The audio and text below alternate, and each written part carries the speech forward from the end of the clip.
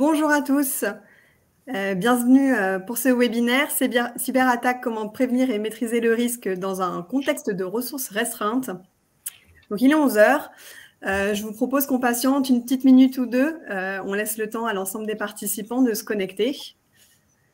si vous avez des problèmes de son, d'image ou autre, n'hésitez pas à nous le faire savoir, c'est le moment. vous avez un, un onglet questions sur la droite de votre écran, donc n'hésitez pas à l'utiliser. Sinon, on se retrouve dans une minute.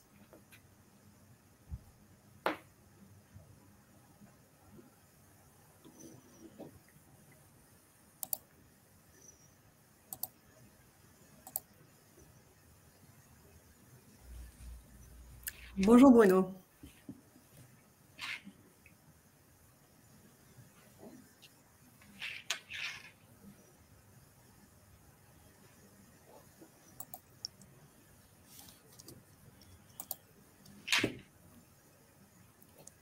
Bonjour Grégoire.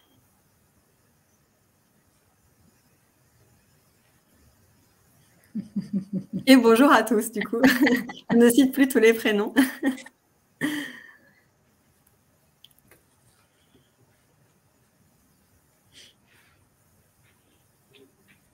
Bon, vous êtes actifs, c'est parfait. J'espère que vous le serez tout au long de la présentation. Patiente encore euh, 30 petites secondes et puis on, démarre.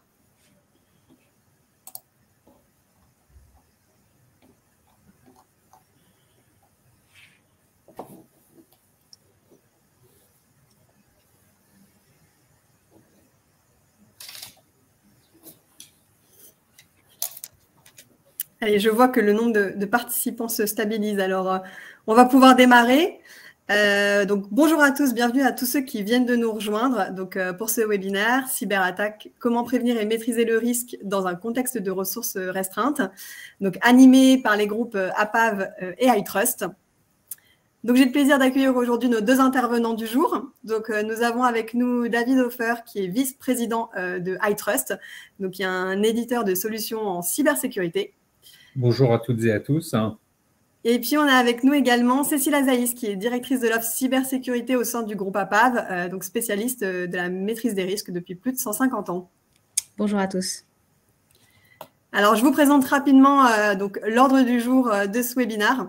Donc, on va démarrer avec une phase un peu introductive et de contexte sur la multiplication des cyberattaques. Donc, quels sont les derniers chiffres et tendances clés qui sont observées? Et en fait, pourquoi la prévention du risque cyber, elle est essentielle pour tous même quand euh, on n'a pas les ressources dédiées, que ce soit en interne ou en externe. Ensuite, on se concentrera vraiment sur la prévention du risque. Donc finalement, quelles sont les bonnes questions à se poser euh, pour vous? Et puis, on vous présentera du coup un, un cas client qu'on a rencontré, qu'on a trouvé intéressant de vous présenter. Euh, on terminera euh, avec une troisième partie sur la présentation du coup de, nos deux groupes, donc APAV et Trust, deux partenaires majeurs et complémentaires pour vous accompagner et faciliter vos démarches en cybersécurité. Euh, et bien entendu, on terminera avec une session de, de questions-réponses. Donc la présentation devrait durer 30-35 minutes et puis la partie questions-réponses, on est sur une dizaine de minutes. Donc, ça me permet de faire une euh, petite transition organisationnelle. Donc, sur la droite de l'écran, vous avez l'onglet questions que certains ont commencé à utiliser. Euh, donc, n'hésitez pas hein, à poser toutes vos questions pendant toute la durée du webinaire. On y reviendra plutôt à la fin dans cette dernière partie, mais voilà, n'hésitez pas à les poser. Euh, et dernière information, vous aurez également accès à un onglet qui s'appelle sondage, puisqu'en effet, on va vous poser quelques questions pendant le webinaire. Euh, n'hésitez surtout pas à y répondre. En fait, ça va permettre à nos deux intervenants de pouvoir orienter et adapter leur discours bah, un peu selon bah, vos réponses et vos besoins. Euh, cette session pour information est enregistrée, donc vous aurez tous accès au replay. Euh, et puis, on va pouvoir démarrer. première partie, phase d'introduction, multiplication des cyberattaques. Quels sont les chiffres et tendances clés observées? Cécile, je te laisse la main. Merci, merci Mathilde. Alors, on voulait commencer en vous donnant des éléments de, contexte. Euh, sachez que euh, en France, il y a plus de 3 millions d'entreprises euh, qui sont des TPE, PME. Donc, c'est un chiffre très conséquent. Donc, évidemment, vous constatez que bah, les TPE, PME sont une cible nécessairement privilégiée de la part donc, des, des hackers, des hackers malveillants. Donc, tout le monde est concerné par le risque de cyberattaque Ça touche les organisations publiques, privées, les petites, moyennes entreprises, mais aussi tout le monde dans sa vie personnelle. Je suis sûre que tous les jours, ou quasiment tous les jours, vous recevez des mails de tentatives de phishing. Donc, c'est quelque chose qui devient de plus en plus palpable et pour lequel il faut absolument se, prémunir. Évidemment, les TPE-PME sont beaucoup plus touchés que, les, que les grands groupes internationaux parce qu'ils bah, ont plus de budget, plus de ressources en interne et c'est vraiment le sujet qu'on va, aborder aujourd'hui. Et donc justement, les TPE-PME ont besoin d'être, euh, accompagnés euh, pour faire en sorte que l'impact d'une, attaque, d'une cyberattaque réussie soit la, moindre, possible. en règle générale, au sein des, des organisations des TPE-PME, il n'y a pas d'organisation spécifique dédiée euh, à, la cybersécurité. Vous allez peut-être avoir des personnes qui vont euh, s'occuper de l'IT en règle générale, mais pas de personnes dédiées sur la cybersécurité. Autre point, sachez que c'est la responsabilité du dirigeant qui est engagé en cas de problématique. Demain, vous avez un fournisseur euh, qui, va, euh, qui peut héberger certaines de vos données parce qu'il est interfacé sur votre, sur votre réseau. Si lui est attaqué et que vos données euh, sont bah, mises à disposition ou revendues sur le, sur le dark web, c'est vous qui êtes responsable parce que c'est vous qui êtes responsable du choix du fournisseur que vous faites. Donc forcément, différentes actions euh, que vous pouvez mettre en place, qu'on vous conseille de mettre en place. Alors évidemment, hein, selon, selon les ressources, selon le budget, j'aime bien dire que ça sert à rien euh, euh, d'acheter un bazooka pour tuer une mouche. Alors certains me diront que ça reste efficace, hein, l'objectif est atteint, mais bon, c'est pas forcément adapté aux contraintes et aux enjeux parce que les TPE PME c'est voilà il y a des contraintes très particulières vous avez besoin de, bah, de faire du business hein, c'est l'objectif donc il faut adapter les un niveau de, comment dire de, préconisation en termes de cybersécurité qui vous permettent de continuer votre activité et, de faire un maximum de, comment dire, de, bénéfices, de profits, ce qu'on vous souhaite à tous, bien évidemment. Alors, euh, quelques chiffres clés. Euh, il y a, euh, des, marqueurs qui sont très parlants quand on reprend les statistiques de ce qui se passe en termes de cybersécurité. Et je pense que le, chiffre le, plus marquant, c'est le fait que 51, plus de 50% en fait des, des entreprises ont fait déjà l'objet d'une cyberattaque et pour beaucoup d'entre elles, elles ne sont pas au courant de cette situation. Alors, ce qui est intéressant surtout, c'est que là, on donne un chiffre qui est de 51%. Il y a, des estimations récentes hein, euh, qui évoquent 80% hein, des, entreprises. Donc, euh, on parle beaucoup ici TPE, PME et quelques grandes ETI. En fait, donc, euh, la réalité évolue entre 50 et 80% des entreprises qui sont victimes de cyberattaques et qui ne le savent pas forcément. Et ça, c'est cette euh, particularité en fait de la, de la, de la, de la criminalité, cyber euh, qui donne une, dimension particulière au sujet. Et cette dimension particulière, elle est, elle est d'autant plus importante que lorsque l'on a des, des cyberattaques paralysantes, parce qu'il faut bien différencier les typologies de cyberattaques également, sur les, PME qui sont victimes de, cyberattaques paralysantes. On en a une sur deux qui disparaît. Euh, alors, dans les 18 mois, c'est le maximum, mais en moyenne, dans l'année qui suit la cyberattaque, l'entreprise euh, met la clé sous la porte. Donc ça, ce sont des chiffres quand même qui sont euh, extrêmement alarmants. on en parle régulièrement avec les différents comités avec la gendarmerie également, avec les services de l'État. Et euh, pour faire face à ça, en fait, euh, il y a euh, tout un panel d'actions qu'il faut mettre en place. C'est justement le sujet du webinaire d'aujourd'hui, puisque tout le monde n'a pas des moyens colossaux à déployer. Et d'ailleurs, il n'y a pas forcément besoin de moyens colossaux pour faire de la cybersécurité.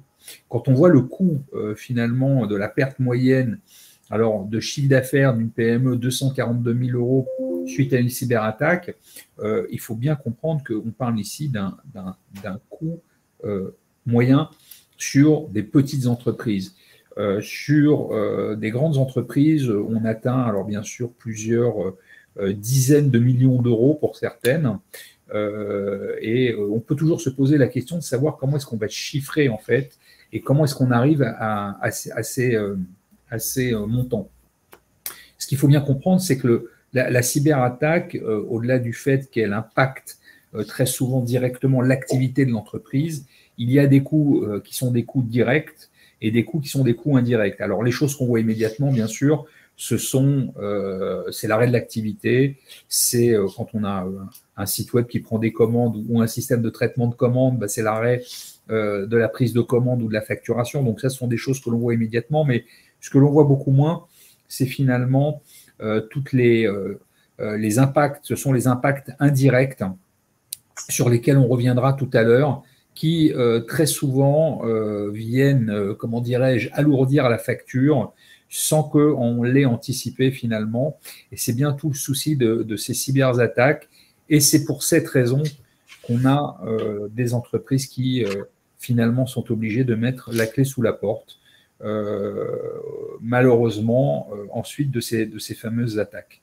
Alors, vous avez un petit graphe en dessous qui reprend quelques euh, quelques points euh, évoqués par cybermalveillance euh, sur les typologies de cyberattaques, rançongiciel. Alors, c'est aujourd'hui, ce sont des sujets qui sont d'actualité, mais je pense que pour parler des, sujets liés aux cyberattaques, on va laisser Cécile l'évoquer sur la prochaine slide. J'en profite pour rappeler, je ne sais pas si je ne prends pas le pas sur Mathilde, euh, qu'on lance une grande enquête de, maturité en cybersécurité avec la PAV et on sera très heureux que vous y participiez.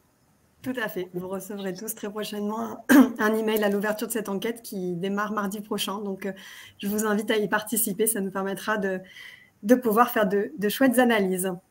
Euh, pardon, on a une première question de sondage pour vous que je vais lancer pendant que Cécile va prendre la main. Avez-vous déjà été victime d'une cyberattaque? Alors justement, euh, l'objectif là, c'est de vous montrer quelles sont les, attaques les plus fréquentes. Sans, grand suspense, hein, je pense que vous le saviez déjà, euh, c'est l'attaque par phishing, hein, l'hameçonnage.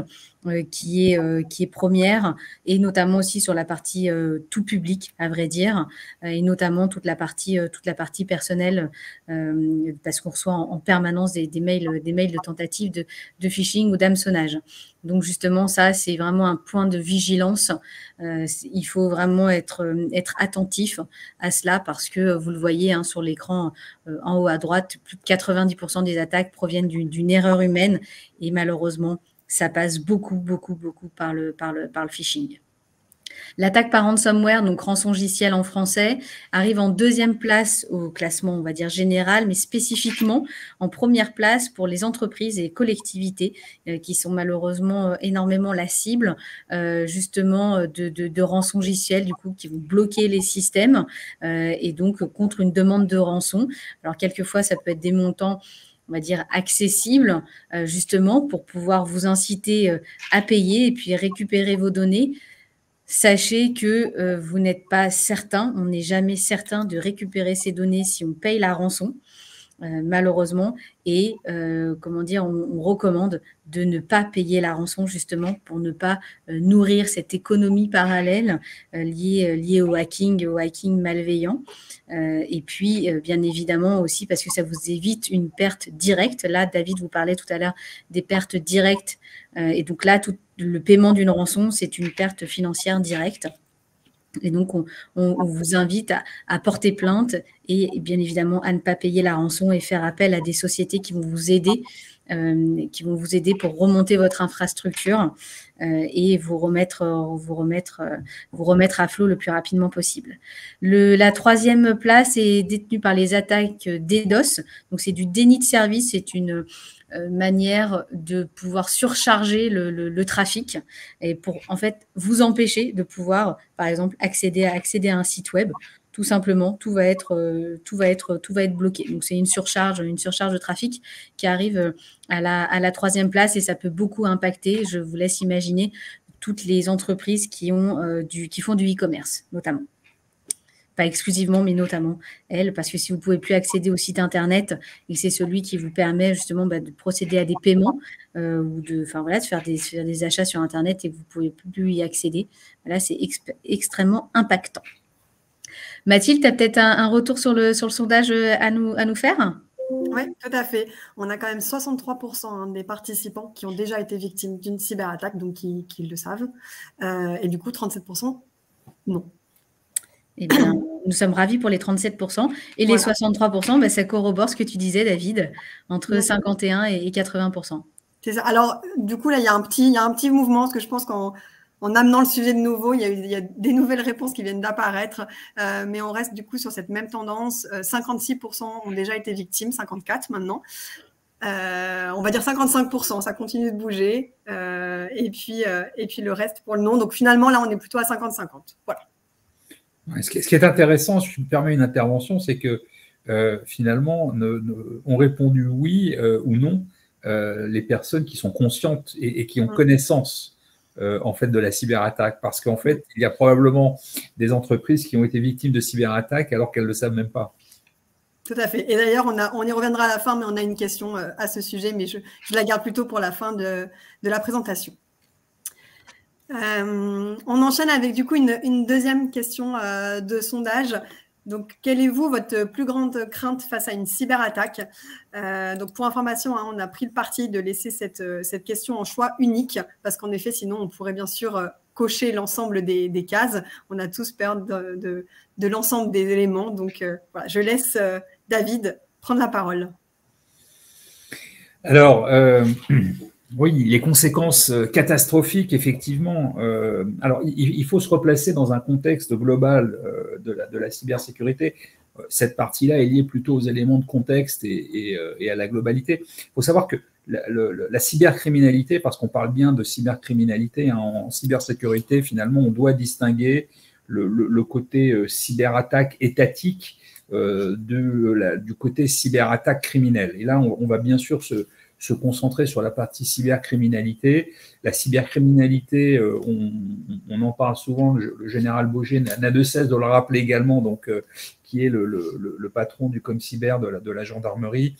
Euh, c'est devenu la, première source de criminalité, hein, de, revenus pour les criminels du monde entier. La, cybercriminalité, c'est 6 000 milliards de dollars. C'est plus que le trafic de drogue, c'est plus que le trafic d'êtres humains. C'est devenu véritablement aujourd'hui le premier vecteur euh, de, j'allais dire, de euh, pénalisant pour les entreprises et, le, et le premier, la première source de revenus pour ces mafias parce qu'elles sont très organisées, qui finalement organisent de manière très structurée euh, à la fois euh, ce qui est indiqué ici, c'est-à-dire le vol de données, la dégradation de l'image ou la perte de confiance.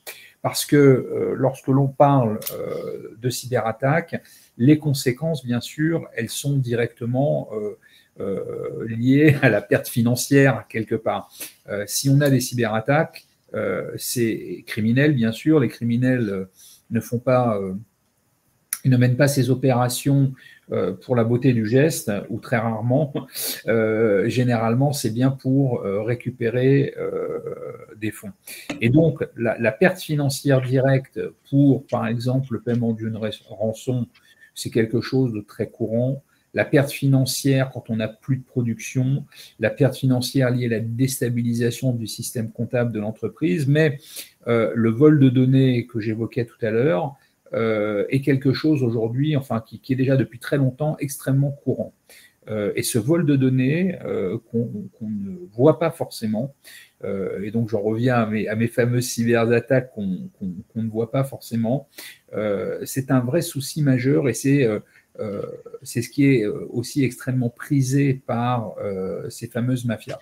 Il faut savoir que le, un identifiant de santé, hein, c'est-à-dire des informations sur les données de santé, sont revendues euh, sur le darknet hein, par, euh, par les, organisations mafieuses euh, entre 40 et 60 dollars par individu. Hein. Donc, quand on vole vos informations, vos données de santé, hein, on a votre nom, on a, bien sûr toutes vos coordonnées, votre numéro de sécurité sociale, on a euh, généralement euh, la liste des pathologies qui peuvent aller avec.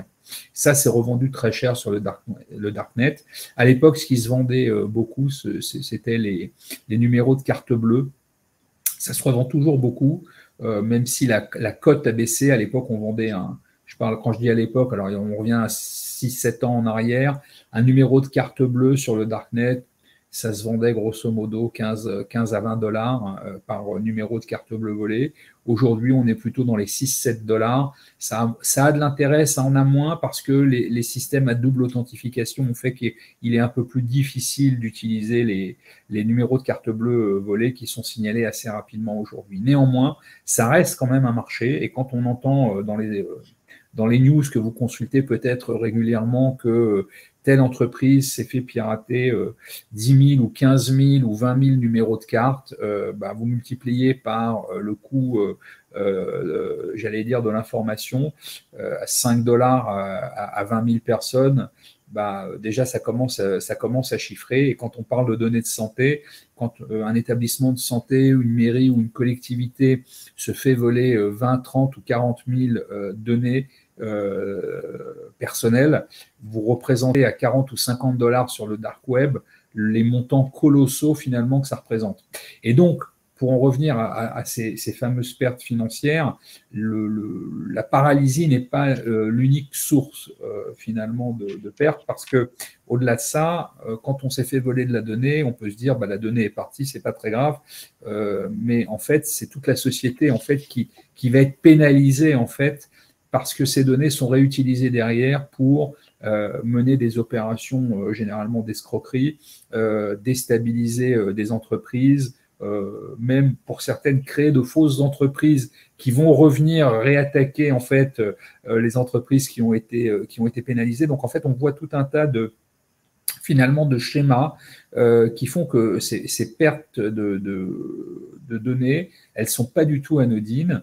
Et au-delà, bien sûr, de la perte de données, il y a l'image de l'entreprise qui euh, est très écornée. Hein. Euh, quand, vous vous faites voler les données de vos clients, bon, alors pour, vous donner des, des aperçus, je, ne citerai pas de nom d'entreprise ni française, mais peut-être internationale, je, vous donnerai euh, l'exemple de Walmart, qui est très connu. Hein. Euh, pour ceux qui ne connaissent pas Walmart, c'est un équivalent de Carrefour aux États-Unis, qui avait pris une cyberattaque il y a, euh, il y a 5-6 ans, une très grosse cyberattaque avec le vol des données des clients. Donc, vous allez me dire, un supermarché se fait voler les données des clients. Bon, c'est pas très grave.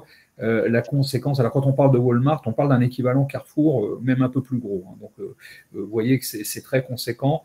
la conséquence directe de la cyberattaque, ça a été une baisse de fréquentation des supermarchés de Walmart, donc de tout le réseau Walmart aux États-Unis, d'un peu plus de 25%.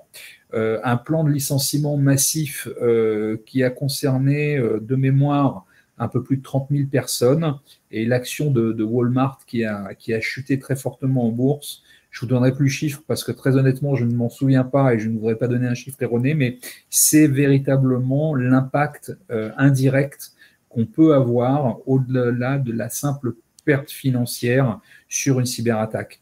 Et euh, quand on parle de grands groupes, alors on dit ils peuvent résister, mais en l'occurrence Walmart bah, n'a pas résisté. Ils sont en très grosse difficulté financière. On a le même cas de figure avec des entreprises en France. Encore une fois, je ne donnerai pas les noms, mais euh, il y a des entreprises très solides en France qui ont vécu des cyberattaques et se retrouvent en grande difficulté financière. Et pour en revenir à ce qu'on disait tout à l'heure sur euh, les PME, eh bien, lorsque vous avez une cyberattaque, finalement, cette perte financière peut être complètement catastrophique. Je finirai avec un, exemple euh, vécu personnellement, puisque on sécurise, nous, des, entreprises où on a vocation à sécuriser les entreprises qui ne le sont pas encore. Euh, j'étais au bureau un vendredi soir il y a, quatre ans. Euh, le téléphone sonne, je décroche et c'était le patron d'une métallerie au centre de la France. Donc, vous voyez, on n'est pas, on n'est pas sur de la haute technologie, on est vraiment une entreprise comme toutes les autres, une entreprise d'une cinquantaine de salariés et j'ai le, patron de cette, entreprise au bout du fil qui me dit écoutez monsieur, je vous appelle, euh, j'ai tous mes serveurs qui sont euh, actuellement cryptoloqués, donc ils sont verrouillés, je n'ai plus accès à rien. Et toutes mes chaînes de production sont arrêtées et on me demande de payer une, rançon de 35 000 euros. Et je lui dis, écoutez, est-ce que vous avez des sauvegardes? Et il me dit, écoutez, j'ai rien, euh, euh, je ne sais pas, je ne gère pas la partie informatique, mais en tout cas, voilà, j'ai ma chaîne de production qui est complètement bloquée, je ne peux plus rien faire, c'est catastrophique. Est-ce que vous pouvez faire quelque chose? Alors, eh bien, la réponse est malheureusement qu'on ne peut pas faire grand-chose dans ces cas-là. C'est-à-dire que euh, le, seul, j'allais dire presque remède, c'est on dit qu'il ne faut pas payer les rançons, mais à un moment on se pose la question de est-ce qu'on doit payer ou pas. Donc ça, c'est libre à chacun de réfléchir. En l'occurrence, cette entreprise ne pouvait pas la payer de toute façon. Et, finalement, et malheureusement, ils ont mis la clé sous la porte. Voilà. Donc ça, c'est un exemple très concret euh, que je pouvais vous donner et, euh, et que je ne souhaite à personne. Alors peut-être qu'on a des résultats sur le sondage, euh, Mathilde. Et du coup, tu en as beaucoup parlé, donc, donc tu vois, ça corrobore. le vol de données, c'est vraiment la plus grande crainte du coup des participants. Euh, à 32%, suivi ensuite de l'arrêt de la production à 25%. Et ensuite, les trois suivants euh, euh, sont plutôt similaires. Je vous propose d'avancer. Cécile, non, d'abord c'est à moi. J'ai une petite question de sondage pour vous, une nouvelle, la troisième. Donc, qui s'occupe de la cybersécurité au sein de votre organisation? Donc, je lance la question de sondage et puis du coup, Cécile, je te laisse la main. Ok, merci, merci Mathilde. Alors vous voyez, vous pouvez avoir des ressources dédiées euh, aussi bien en interne, en interne qu'en externe. Euh, souvent, euh, les, TPE-PME font appel à des, sociétés externes pour aider parce qu'effectivement, en termes d'effectifs, en termes de budget, ce n'est pas ce n'est pas possible. donc effectivement, vous avez peut-être des ressources en interne. Ceci étant dit, alors vous pouvez avoir un RSSI, un responsable de la sécurité des systèmes d'information. A priori, dans les TPE-PME, ça va moins être le cas. Ça va plutôt se retrouver à partir du moment où on est dans une ETI ou bien évidemment un, grand groupe. C'est lui qui va chapeauter toute la, sécurité du coup des systèmes d'information. Et cette personne peut avoir des, compétences aussi bien techniques qu'organisationnelles. N'oublions pas hein, que la cybersécurité, c'est pas uniquement euh, de la technique, c'est aussi beaucoup d'humains euh, et beaucoup d'organisationnel. Il y a des process à mettre en place, il y a de la sensibilisation. Donc voilà, cette personne peut chapeauter euh, toutes ces, compétences-là. Vous pouvez avoir des équipes techniques, des équipes qui vont peut-être mener des audits euh, pour pouvoir identifier les vulnérabilités, euh, les failles potentielles qu'il peut y avoir sur le réseau. vous pouvez avoir des personnes qui sont côté IAM, donc Identity Access Management, c'est des personnes qui vont qui vont s'occuper de, toute la partie euh, accès, gestion des accès. C'est un point très important. Euh, vous avez peut-être des, personnes qui font ça à un niveau plus IT. C'est primordial euh, de savoir quelles données, qui a accès à quelles données et pour quelles raisons. et qui peut faire quoi avec ces données Est-ce que c'est en mode juste lecture? Est-ce en mode modification? En mode éditeur? Donc, euh, effectivement, euh, voilà, soyez, soyez attentifs sur ce point-là parce que ça peut être, comme le disait David tout à l'heure, un point, un point saillant avec euh, la partie vol, vol de données. Vous pouvez avoir des équipes fonctionnelles, donc organisationnelles, qui vont peut-être s'occuper bah, de la partie gestion de crise. Lorsque vous avez une crise en cours, bah, comment euh, vous allez faire, euh, comment vous informer euh, vos, collaborateurs, vos clients, comment vous gérez les, news qui vont potentiellement passer sur les réseaux, comment vous faites en sorte de, garder un niveau minimal dégradé acceptable, comment est-ce que vous remontez la pente? Donc ça, ce sont des points très importants. En interne, en métiers complémentaires, ce sont bien des métiers complémentaires, vous avez toutes les équipes IT idéalement, les équipes euh, SSI, les équipes sécurité des systèmes d'information, ne sont pas rattachées à l'IT. Ce, sont deux métiers, ce sont deux métiers différents. Souvent, l'IT est orienté très business. La sécurité, euh, prend en compte le, business, mais est orienté cybersécurité, justement sécurité du système d'information. Donc, idéalement, euh, il ne faut pas que euh, la SSI soit rattachée à, la DSI, à la DSI pure. Vous avez les équipes formation, c'est primordial aussi de, sensibiliser. On l'a vu 90% du temps, les attaques proviennent d'une erreur humaine. Donc ça, c'est la partie interne. Vous avez peut-être des ressources en interne ou sinon, à minima, ayez des ressources externes qui vont pouvoir agir directement sur votre niveau de, cybersécurité. Vous pouvez avoir des sous-traitants, des éditeurs, des intégrateurs, donc des éditeurs de logiciels, euh, donc euh, euh, iTrust par exemple, des intégrateurs qui vont venir mettre, qui vont venir, comment dire, bah, intégrer la solution dans, vos systèmes. C'est très important également. la partie des, des sous-traitants qui vont faire de l'audit et de la formation. Si vous n'avez pas les équipes en interne, faites euh, de temps en temps un, scanner de vulnérabilité. L'important, c'est vraiment de savoir où vous en êtes, euh, de connaître votre niveau de maturité pour ensuite pouvoir mener des actions. De la formation, vraiment former, sensibiliser les collaborateurs. De la formation, du phishing, c'est hyper important. Il faut ancrer les bonnes pratiques en permanence. Des sociétés de conseil, effectivement, aussi avec des consultants qui peuvent intervenir en régie, qui peuvent s'asseoir à côté euh, du responsable informatique et ajouter, l'aider à ajouter euh, des briques, des briques sécurité ou euh, que le consultant soit lui-même peut-être la personne qui s'occupe de, la, de, la sécurité ou des personnes qui vont aider du coup sur les volets techniques et, et ou organisationnels. J'ai mis en métier complémentaire l'infogérance. Vous faites très certainement appel à des infogéreurs qui vont par exemple s'occuper de tout le parc informatique ou qui vont s'occuper euh, de, mettre en place, de vérifier que les, antivirus euh, sont à jour, par exemple, ou qui peuvent faire des sauvegardes, mais ils ne font pas de cybersécurité. Ce sont des métiers complémentaires, mais l'infogérance n'est pas de la cybersécurité. C'est vraiment côté IT uniquement. Et euh, un exemple tout, bête, hein, par exemple, l'infogéreur va faire en sorte que le, va vérifier que votre antivirus est à jour, mais il ne va pas forcément monitorer l'antivirus. Donc, vous voyez, c'est vraiment une fondamentale. Donc, euh, soyez, euh, soyez conscient de ce point-là. L'infogérance est nécessaire, mais ce n'est pas les mêmes métiers que, que, la cybersécurité. Mathilde, tu as peut-être des, réponses euh, au, sondage parvenir? Donc à la première place, euh, ex on a donc soit par euh, la ressource externe à 31% ou également euh, la, personne qui, vous-même, donc la personne qui, répond directement, donc à 31% également. Donc là, ça va dépendre des, des interlocuteurs qu'on a face à nous, si c'est des dirigeants, des RSSI ou autres, bien entendu. et quand même, le chiffre à souligner, hein, c'est qu'en dernière position, mais quand même à 14%, il y en a qui n'ont aucune ressource. Ok, ouais, merci, merci Mathilde pour, ce, pour, ce, pour ces, réponses. Effectivement, ça montre que quelquefois, si c'est vous-même directement, bah, vous, vous, bah, vous, avez déjà vous votre temps et c'est peut-être pas uniquement votre, votre, votre mission euh, mm. d'être dédié à la cybersécurité. Donc, voilà, essayez d'avoir des, d'avoir des ressources externes, des choses à des, à des prix euh, adaptés, hein, encore une fois, adaptés en termes de, budget euh, pour vous permettre de, de mener votre métier de mener votre métier euh, de la meilleure manière possible. Je vais laisser la main. Euh, Tout à fait. On va pouvoir passer à, cette euh, deuxième partie. donc vraiment sur la prévention du risque. Aujourd'hui, pour se prémunir, David, quelles sont les bonnes questions à se poser? Alors, il y, a, beaucoup de questions à se poser. Je vois que l'heure tourne. Alors, je vais essayer de ne pas être trop long parce que je, peux en parler pendant très longtemps, vous l'avez bien compris.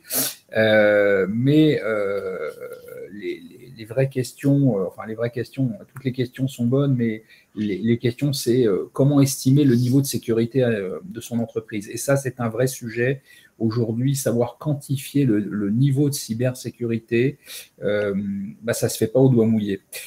ça se fait avec des process, des procédures, des outils qui vont permettre d'aller vérifier en fait les différents facteurs qui sont liés à la cybersécurité. Alors, je ferai juste une aparté pour rappeler que la cybersécurité n'est pas uniquement technique. Euh, mm-hmm. Très souvent, quand on parle de cybersécurité, on parle d'outils, euh, dans des antivirus, des firewalls, mais la cybersécurité, ça couvre en fait très largement beaucoup plus de domaines que ça.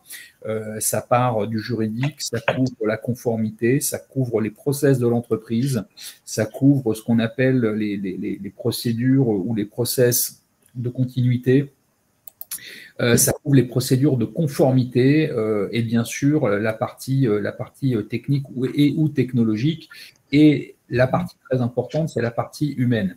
Et donc, les, interrogations, en fait, elles doivent couvrir finalement chacune de ces parties avec des tests pour réaliser, bien sûr, la résilience. Alors on parle de, résilience hein, des, systèmes d'information, mais déjà tester le, j'allais dire les vulnérabilités de votre de votre système d'information. On parle beaucoup de surface d'attaque en fait, et il faut il faut être conscient des surfaces d'attaque euh, que l'on a dans son système d'information. Donc ça, ça se fait au travers d'audits notamment. Euh, les mesures de sécurité à prendre, est-ce que vous en avez déjà qui ont été prévues? Euh, Si vous n'en avez aucune, il faut le prévoir. Il faut qu'il y ait quelque part une procédure qui, décrive quelles sont les actions à mener si vous êtes victime d'une cyberattaque, selon les différentes cyberattaques également.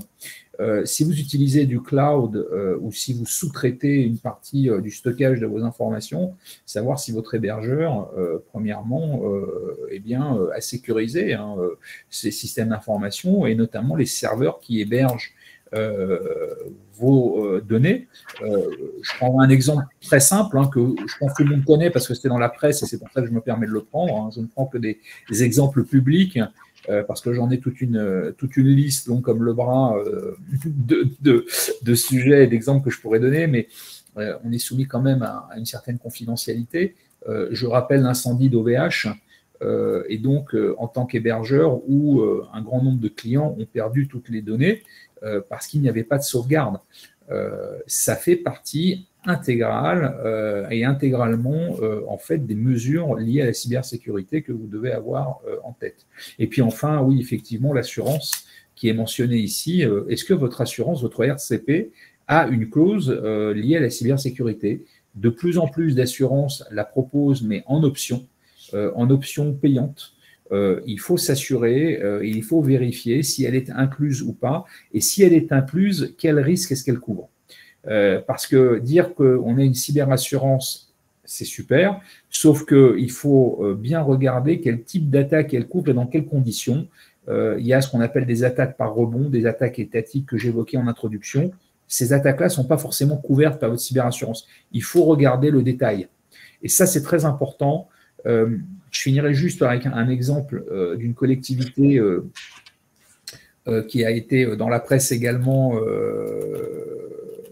je, peux donner les, montants. Hein. Euh, euh, Angoulême, la collectivité qui s'est fait cyberattaquer, euh, c'est du public, certes. L'assureur a payé 800 000 euros. Donc, vous allez me dire, c'est beaucoup d'argent. Je suis d'accord avec vous.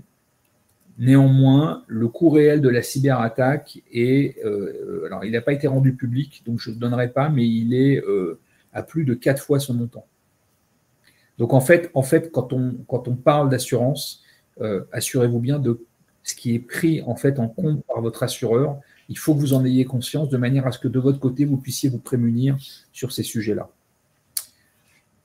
Voilà, voilà pour cette, cette partie euh, interrogation euh, et réponse qu'on va apporter.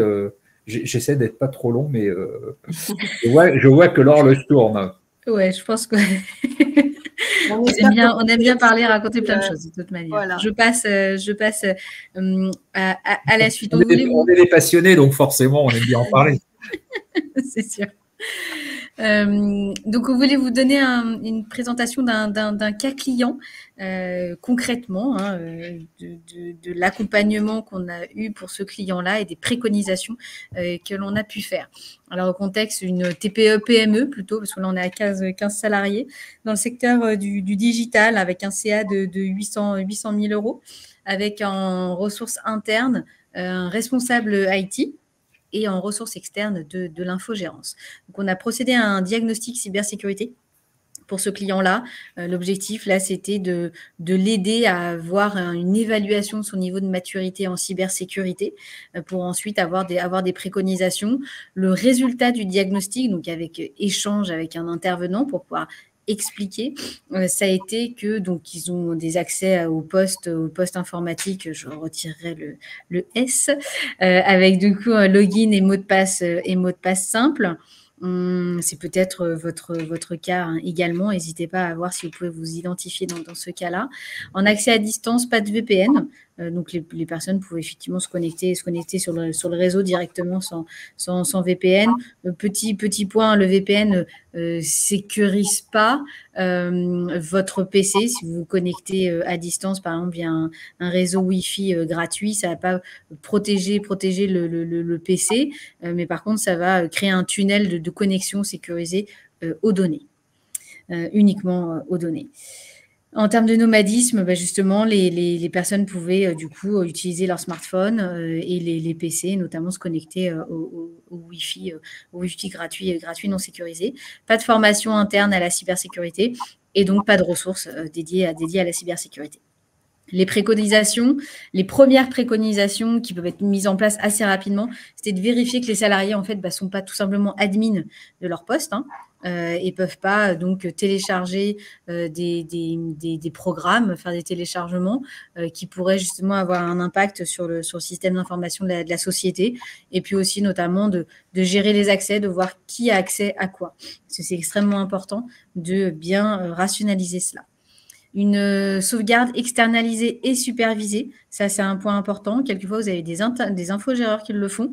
Ça, d'avoir une sauvegarde externalisée. Donc, quand on dit externalisée, c'est non connecté au SI et aussi, si possible, pas physiquement, juste à côté euh, de, enfin, dans, les, mêmes locaux. Hein. L'objectif, c'est vraiment que ce soit externalisé également physiquement, parce que on prend le cas d'OVH avec l'incendie.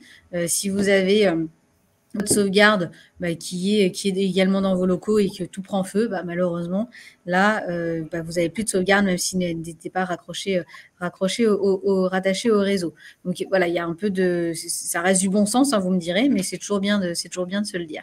Et superviser, donc qu'elle soit, euh, comment dire, potentiellement aussi 24 heures sur 24 avec, avec une vérification euh, des, sauvegardes constantes. Parce que euh, peut-être que vous allez euh, perdre vos données, vous dire Ah bon, mais attendez, j'ai une sauvegarde, c'est bon. Mais en fait, votre dernière sauvegarde utilisable, elle remonte à six mois. Et parfois, en fait, quand on revient à six mois, n'a rien. Bah, c'est quand même extrêmement compliqué pour la, société. Formation des salariés et des managers à la cybersécurité et à la fuite de données. Donc ça, c'est une formation par la suite qu'on a faite pour ce client-là. Il faut sensibiliser, il faut former absolument. Donc, quand on dit à la cybersécurité, c'est une prise de conscience au sujet, aux bonnes pratiques, aux enjeux de la, cybersécurité. Euh, L'accompagnement euh, RSSI hein, avec un RSSI externalisé, à peu près trois jours, euh, trois jours par mois. Vous voyez, ça peut être par petites touches, on va dire, pour accompagner progressivement sur des sujets. On ne va pas mettre un, RSSI externalisé du coup sans, eux à la fin euh, pour, pour accompagner euh, full time. C'est pas le but. On s'adapte, on s'adapte aux contraintes et au budget de la société. Et le, dernier point, hein, du coup, euh, des outils et logiciels de cybersécurité avec le SOC et le DR Manager qui a été mis en place du coup par, iTrust, par, par toi, hein, par tes équipes, David, directement, pour pouvoir, comment dire, monitorer, superviser ce qui se passe sur le réseau. Je pense que tu en reparleras un, petit peu après sur, euh, sur plus précisément ton, ton, offre. En tout cas, si vous avez des questions, n'hésitez pas à nous les poser dans le chat. Je vois qu'il y a de nombreuses questions. Je pense qu'on y répondra peut-être après. Euh. Tout à fait. Euh, on, espère, on, va un peu, on va un peu dépasser le temps, donc on espère que vous allez pouvoir rester avec nous. Mais on arrive sur la fin, sur cette dernière partie. Du coup, aujourd'hui, comment APAV et iTrust peuvent vous accompagner pour faciliter vos démarches en cybersécurité? Cécile, je te redonne la main. Merci, euh, merci Mathilde. Alors, trois blocs dans l'offre euh, dans l'offre APAV. Un bloc évaluation, donc le diagnostic dont je vous ai parlé tout à l'heure. Euh, ce qui est important pour nous, c'est de débriefer avec vous, c'est de vous expliquer concrètement et de vous expliquer voilà quel est l'état des lieux, quelle est l'évaluation de votre niveau de maturité. également de l'inspection de vos dispositifs. On peut évidemment aussi venir sur site pour avoir un, rôle plus d'inspection pour voir ce qui est mis en place et de pouvoir faire des vérifications sur ce qui est mis en place, comment et si c'est bien euh, mis en place. Un scan de vulnérabilité du site web, bien précisé euh, uniquement pour le, pour le site web. Là, on va identifier les failles, les principales failles de sécurité sur votre, sur votre, sur votre site web, justement, est-ce qu'on peut venir prendre la main sur le site web, changer des photos, euh, changer des vidéos, changer le texte? Et ça peut être extrêmement impactant pour, votre activité. Un bloc formation, formation aux bonnes pratiques, euh, formation des salariés, donc aussi bien en présentiel, classe virtuelle, e-learning. Là, c'est de, de l'acculturation, c'est d'ancrer les bonnes pratiques et d'échanger et d'échanger vraiment parce qu'on a pas mal de questions, en fait, aussi bien d'ordre professionnel et, personnel. Et souvent, les gens nous disent, oui, mais en fait, le mail, le mail d'appel d'offres, bah oui, mais je clique. Évidemment, vous cliquez parce que c'est le professionnel et parce que euh, conscience, euh, conscience professionnelle veut que bah, en fait, vous allez cliquer. On m'en essaie de donner quelques tips euh, parce que c'est bien de, se confronter à, la réalité. formation des dirigeants et des managers aux enjeux également. Beaucoup de, discussions, d'échanges pour également aussi s'adapter vous à, vos enjeux, votre secteur d'activité, vos, vos, contraintes pour vous accompagner au mieux. Des campagnes de phishing, il faut ancrer les bonnes pratiques, absolument. Statistiquement, on voit qu'on se relâche au bout de trois mois. C'est-à-dire que pendant trois mois, on est assez vigilant, on évite de cliquer partout. Et puis, en fait, au bout de trois mois, c'est reparti. Et il y a toujours dans une société 5% de récalcitrants. Et encore, quand c'est 5%, c'est déjà une bonne, une, de bonnes. Donc, n'hésitez pas à sensibiliser euh, vos collaborateurs. Offre conseil, accompagnement à la certification euh, ISO 27001 ou la partie SMSI, euh, donc système de management des systèmes d'information. Euh, ça, effectivement, pour pouvoir vous aider à progressivement améliorer votre niveau en, termes de cybersécurité.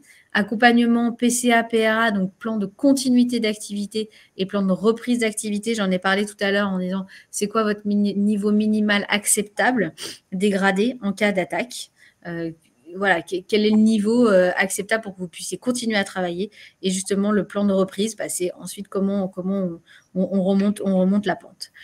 Et l'accompagnement à la gestion de crise, c'est vraiment primordial. Sachez que, et David vous l'a dit tout à l'heure, au moment où il y a une crise, si en amont vous n'avez pas mis en place des actions, malheureusement, euh, bah, c'est quand même extrêmement compliqué de pouvoir, de pouvoir vous aider. Et vraiment, si vous n'êtes pas préparé, si vous ne savez pas comment vous allez communiquer, à vos collaborateurs et vos clients. Euh, et si vous ne faites pas extrêmement rapidement dans les, enfin vraiment dans, dans, les premières heures, en fait, tout va extrêmement vite et vous ne pouvez plus récupérer la situation. Et là, euh, malheureusement, euh, c'est extrêmement compliqué, c'est extrêmement compliqué de, de, de, de pouvoir, de, pouvoir vous aider. Donc, on vous aide sur la, la, la préparation à la gestion de crise pour pouvoir limiter, limiter les impacts. Rapidement, euh, à PAV Digital, euh, on a des compétences en, cybersécurité. Euh, il y a Opida qui a rejoint le groupe, qui est une, société d'expertise et d'évaluation en audit conseil, qui a également un laboratoire, un CESTI d'évaluation des produits de sécurité. Ils sont agréés par l'ANSI, hein, qui, est le régulateur. Et on a également une société LSTI de certification euh, des personnes et des, services. Euh, et demain, si vous voulez passer une, certification euh, ISO 27005 IBIO-CRM, par exemple, eh bien, 80, dans 95% du temps, vous faites certifier par, par LSTI. on a également des compétences en, data science, en protection des données et avec une plateforme digitale d'inspection.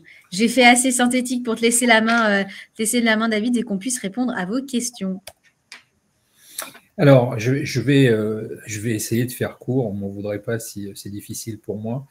Euh, alors, iTrust, euh, certainement que vous avez entendu parler de l'actualité la semaine dernière, puisque on est, on est une, une des, des, des j'allais dire, considéré comme une des pépites françaises en technologie, en cybersécurité. On a été repris par le groupe Iliad euh, la semaine dernière, euh, mais ça fait 15 ans qu'on existe euh, et on est spécialisé en supervision de la cybersécurité avec des technologies, notamment utilisant l'intelligence artificielle et qui permettent en fait d'aller faire ce qu'on appelle du prédictif dans les systèmes d'information, mais pas que.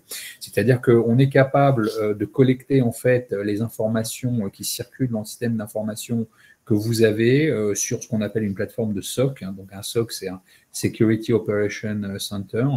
Et avec notre technologie, en fait, on va être capable non seulement de collecter et de centraliser euh, tous les, euh, euh, les, outils que vous avez en cybersécurité. Donc, on ne va pas les remplacer, mais on va uniquement collecter leurs activités. Collecter ce qu'on appelle les logs, les journaux d'activité, et à partir de là, on va être capable de détecter s'il y a en fait des cyberattaques qui sont en cours ou qui se déclencheraient. Alors, je réponds au passage à, l'une des questions qu'il y avait parmi les, questions. Comment, comment peut-on avoir une cyberattaque dont on ne se rend pas compte? Ce qu'il faut savoir, c'est que la majorité des cyberattaques ne se déclenchent pas en temps réel. C'est-à-dire que lorsque vous avez une cyberattaque que vous voyez, c'est qu'en fait, elle s'est déclenchée très souvent quelques mois avant. Euh, on parle toujours de, ce fameux hameçonnage, le phishing, euh, euh, tous ces cryptolockers. En fait, c'est pas en un clic de souris qui verrouille votre poste.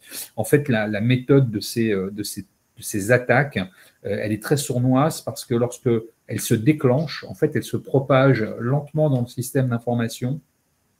Et en fait, ça peut prendre. Alors à l'époque, la moyenne c'était à peu près six mois.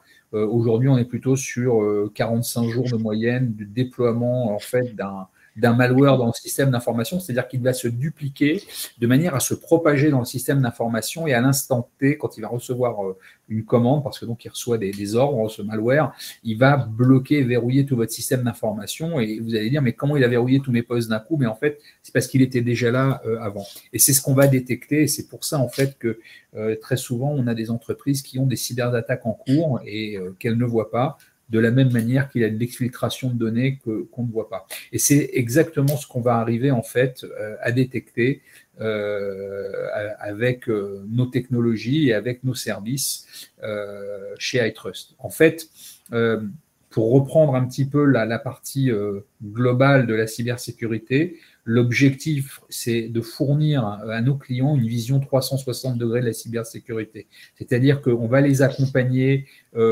à la fois à partir euh, de, l'expertise, donc ça, ça va être la partie que euh, Cécile vous a présentée tout à l'heure, où on va avoir toute cette partie expertise dont vous avez besoin, euh, l'analyse de risque, on va avoir besoin de sensibiliser les collaborateurs, on va avoir besoin de regarder quelles sont les vulnérabilités, puis ensuite on va fournir l'outillage et les équipes qui vont être capables de faire le monitoring, hein, donc la surveillance finalement du système d'information de manière à détecter et alerter très rapidement. Donc on a des outils qui travaillent en temps réel et euh, on est capable de bloquer euh, les, cyberattaques avant qu'elles se propagent.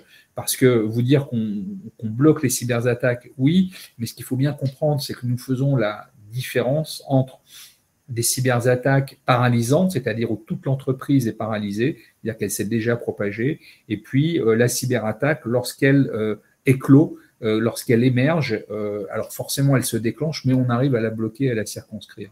Pour vous donner quelques métriques, alors déjà, iTrust, c'est euh, zéro client cyberparalysé depuis euh, qu'on a lancé nos, technologies sur le marché il y a 6-7 euh, ans maintenant.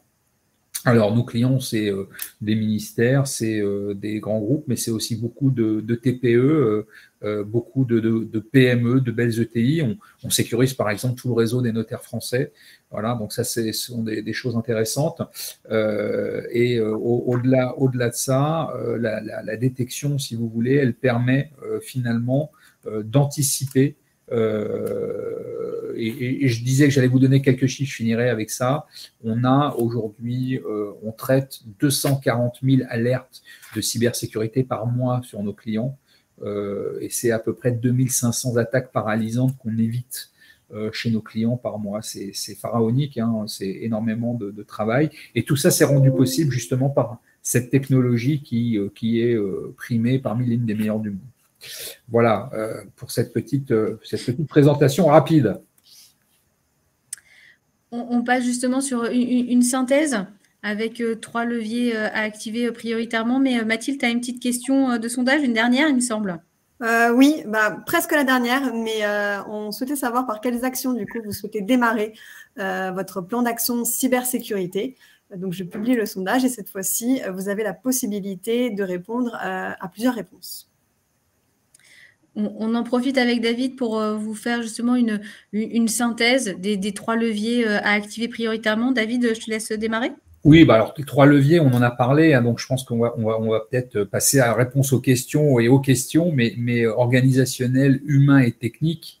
Euh, et, je pense qu'on a abordé une grande partie des sujets, Cécile, euh, peut-être que tu veux. Oui, tout à fait. N'hésitez pas si vous avez des questions, mais pensez euh, aux trois. La cyber, c'est pas que de la technique, c'est de l'orga, c'est du process, c'est de l'humain. La personne qui va cliquer, c'est de l'humain. Et l'organisationnel, les process qui peuvent bloquer, bloquer, bloquer certaines attaques ou permettre justement de, de s'en remettre le plus vite possible. On, te laisse la main, Mathilde, pour, pour, les questions? Oui, alors moi, je, moi, je, veux bien balayer la, Mathilde, pardon, parce que sinon. Ah, attends, David, j'ai quand, même, j'ai quand même un petit quelque chose avant, avant qu'on passe aux questions. donc, juste quand même pour dire que euh, le, diagnostic de cybersécurité, hein, pour le coup, a l'air quand même de plutôt plaire aux, participants qui sont parmi nous. Et avant justement, euh, David, qu'on passe à la partie euh, réponse aux questions de sondage, on souhaitait aussi savoir, c'est les deux dernières questions qu'on vous pose, si déjà ce webinaire, il a répondu à toutes vos attentes. Donc, c'est une question que je viens de, lancer, vous pouvez répondre. Et si vous souhaitez directement être contacté, je sais qu'il y a une personne dans les questions hein, qui a demandé à être contacté. Donc, vous pouvez répondre oui à souhaitez-vous être contacté. J'ai publié ce sondage. En effet, David, on reprend les questions. Donc, je les reprends dans l'ordre. Euh, on avait tout d'abord une première question d'Eric. Euh, en fait, à quoi tient la valeur des données de santé, notamment, qui sont, euh, qui sont revendues, je pense, sur le dark web? Je pense que j'ai répondu partiellement à ça. Hein. C'est la, valeur de la donnée, c'est la valeur de la revente sur le dark web. Donc, j'ai répondu. Euh, donc on a François hein, qui nous disait. Excuse-moi, excuse-moi, je complète. c'est la valeur, mais à quoi est-ce qu'elle tient? C'est surtout à la, à, la, à la qualité de la donnée. C'est-à-dire qu'on est sûr que ces données sont de qualité parce qu'elles ne sont plus obsolètes. On a le bon nom avec la bonne adresse, avec le bon numéro de sécurité sociale, avec le bon numéro de téléphone, etc. etc. Voilà. Donc François, pour le coup, on est d'accord avec nous, hein, euh, avec lui, pardon. Il nous a fait plusieurs commentaires, mais euh, oui, je vois, mais je vais... le problème de sensibilisation est un, est un vrai sujet pour le coup. Euh, on est 100% d'accord avec vous et avec vos différentes remarques. Florent nous pose la question, euh, nos serveurs disposent de plusieurs sauvegardes sur un serveur secondaire et sur un NAS. Cependant, ces deux appareils sont aussi sur le réseau interne. Est-ce qu'il y a un risque que tous les appareils soient cryptologués en même temps? J'ai vu la question, effectivement. Euh, il faut absolument avoir des sauvegardes déconnectées du réseau et surtout, euh, il faut faire des tests de ce qu'on appelle de restore. Hein, donc, savoir restaurer ces sauvegardes, il faut faire un test de temps en temps. Euh, aujourd'hui, les nouvelles, les nouvelles euh, cyberattaques, donc les, nouveaux malwares qui sont développés par les, criminels, en fait, euh, attaquent directement les sauvegardes de manière à ce que justement on ne puisse pas restaurer les, informations et qu'on soit obligé de payer la rançon. Donc, ce qui est très important, c'est d'avoir des sauvegardes qui soient vérifiées et avec une copie déconnectée du réseau. Et en fait, que ce soit les sauvegardes qui viennent récupérer aussi les données sur votre SI et pas que ce soit le SI qui envoie les données aux sauvegardes. Petite, euh, aussi petite subtilité. Tout à fait. Euh, donc, on a Jean-Claude qui nous disait l'ANSI déconseille de régler euh, les rançons. Est-ce qu'on connaît le ratio ou les résultats de ceux qui ont payé et obtenu le retour de leurs données au fonctionnement de leur, de leur SI Alors, enfin, les ratios, euh, les ratios, euh, il y a des ratios officiels et des ratios officieux. Alors, euh, dans, l'officiel, officiellement, personne ne paye de rançon. officieusement, il y a des entreprises, même des grandes entreprises du CAC 40 qui payent les rançons. Euh, pour deux raisons. Alors, euh, je parle, bon, je, je, je, donnerai pas ni de nom ni de, de, de cas trop poussés, mais euh, nous, on est intervenu comme intermédiaire pour payer des rançons sur, sur certaines entreprises, même si on le déconseille, mais il y a un moment où il n'y a pas le choix. C'est-à-dire que l'entreprise, soit elle met la clé sous la porte, soit elle assume de payer un certain montant pour essayer de sauver son activité. Euh, ce qui est certain, c'est qu'à partir du moment où la rançon est payée, ce qu'on constate, c'est que l'entreprise est systématiquement réattaquée derrière et que le paiement de la rançon ne garantit pas la restitution des données. Et donc ça, c'est un coup de poker de certains dirigeants. Euh, c'est un choix, c'est une décision euh, qui, qui est cornélienne. c'est payer ou ne pas payer, telle est la question le paiement ne garantit en rien euh, la remise à niveau, euh, le non-paiement peut garantir une mort certaine. Voilà. Et bien souvent, euh, les sociétés, tu me corrigeras David si je me trompe, mais les sociétés qui payent ou même qui se font attaquer font en sorte que ça ne se sache pas. Ah, de toute façon. Souvent, elles ne veulent pas que ça, prenne, ça dans la presse. C'est pour, ça que vous avez noté que je ne donne aucun nom et je ne oui, bien sûr. On ne communique jamais sur euh, nos clients ni sur, enfin, sur, euh, sur, euh, nos clients qui, qui, ont des cyberattaques ou chez lesquels on mène des, j'allais dire, des opérations particulières. Donc, c'est compliqué de vous donner des chiffres là-dessus pour, pour, pour finir de répondre à votre question. Alors, les seuls qui donnent des chiffres sont les Américains. Voilà, je donne juste une piste. voilà, effectivement. Il y aura des bons ratios, à mon avis, là-bas. On a une question d'Eric qui demande, euh, donc du coup, quel est votre avis d'expert hein, sur les solutions cyberassurance euh, que propose, qui propose un monitoring continu de vos systèmes couplé à une euh, couverture assurantielle? C'est très bien. Enfin, tout ce qu'on peut, j'allais dire, il faut avoir une vision positive du sujet, c'est-à-dire que plus on va mettre de moyens pour la cybersécurité, plus on aura un niveau de cybersécurité élevé. Donc tout ce que vous pouvez mettre en place, il y en a entre guillemets jamais trop quelque part. Euh, si vous avez une cyberassurance qui vous propose de faire du monitoring, euh, bah, il, faut, le prendre. Au contraire, je pense que après, c'est chacun, chacun avec sa cyberassurance. C'est-à-dire que ce qu'il faut toujours arriver à comprendre dans les, dans les contrats de cyberassureurs, c'est qu'est-ce qui est couvert effectivement. Mm. Donc regardez bien, les, lisez bien les petites astérisques. Euh, si jamais vous avez une demande de rançon, souvent il faut le déclarer, porter plainte dans les 72 heures. Si vous ne le faites pas, bien souvent, ils ne remboursent pas la rançon. Donc lisez bien, vraiment, lisez bien et puis même appelez votre assureur pour, pour négocier et pour être bien conscient de tous les items. Tout à fait. Euh, une question pratico-pratique hein, de Nathalie. Qui dois-je appeler en cas de cyberattaque sur la région du 63 Alors, euh, quelle que soit la région et quelle que soit la localisation, il faut savoir que, alors, il y a euh, l'ANSI, je vois que François parlait beaucoup de l'ANSI. Alors, je, profite pour dire qu'effectivement, euh, la plateforme de l'ANSI et de cybermalveillance ont des documents qui sont très bien faits, mais qui très souvent, très souvent sont trop techniques pour les, profanes en cybersécurité et donc qui ne comprennent pas forcément. Euh, mais effectivement, il y a de très bons documents. Il euh, faut avoir le temps d'aller les consulter. Et alors, qui contacter en cas de cyberattaque euh, À partir du moment où on n'est pas un OIV, donc un organisme d'importance vitale qui dépend de l'ANSI, eh bien, c'est la gendarmerie nationale faut savoir que la gendarmerie a mis en place euh, des correspondants cyber dans toutes les gendarmeries en France. Et donc, à partir du moment où vous avez une cyberattaque, vous pouvez euh, appeler la gendarmerie, votre gendarmerie locale, qui vous transférera et relayera l'information immédiatement au com cyber de la gendarmerie. Ils pourront, ils pourront effectivement euh, vous aider, mais souvenez-vous bien que une fois que l'attaque a eu lieu, si vous n'êtes pas préparé en amont, malheureusement, ça va être extrêmement compliqué. Pour qui euh, Attention, effectivement, Cécile a raison de préciser, la gendarmerie ne, fera pas le travail d'un prestataire qui interviendrait sur votre cyberattaque. Euh, ils pourront effectivement constater la cyberattaque, ils pourront vous aider sur le dépôt de plainte, ils pourront euh, éventuellement vous aider à, à circonscrire l'attaque et aller faire des constats sur le type d'attaque que vous avez mais en aucun cas ils ne vous accompagneront, ce n'est pas leur métier, ils ne sont pas payés pour ça, ils vous, ils vous aideront à remettre en route votre système d'information. Voilà, donc ayez, bien ça en tête et il faut effectivement en amont avoir mis en place des, des, voilà, des, systèmes pour, pour, vous, pour vous protéger. On prend une toute dernière question, donc euh, celle d'Olivier. Euh, donc, OK pour essayer de déconnecter les sauvegardes du réseau, mais persiste le risque de faire un, de faire un tout de, de faire tout de même une copie contenant déjà un malware. Euh, et là, je ne vois pas de solution. La solution, c'est euh, bah, euh, de vous renseigner auprès de votre fournisseur de, logiciels de sauvegarde. Il existe aujourd'hui des fournisseurs qui, au moment de la sauvegarde, en fait, vérifient si les, ce qu'on appelle les, sauvegardes ne sont pas plombées, c'est-à-dire s'il n'y a pas de, malware ou de, virus qui traînent dans les sauvegardes. alors, ceci étant dit, ça fonctionne très bien, mais euh, on n'est pas rentré sur le sujet des nouveaux, malwares, des, des nouvelles typologies d'attaques.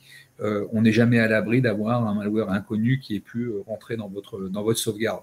Néanmoins, si vous avez quand même une sauvegarde que vous pouvez restaurer et que vous avez fait le test du restore, bon, déjà, ça vous permet, même si vous avez une cyberattaque paralysante avec tous vos systèmes qui sont détruits, euh, au moins de pouvoir euh, rapatrier euh, les données et de pouvoir retravailler et de remettre le système en route.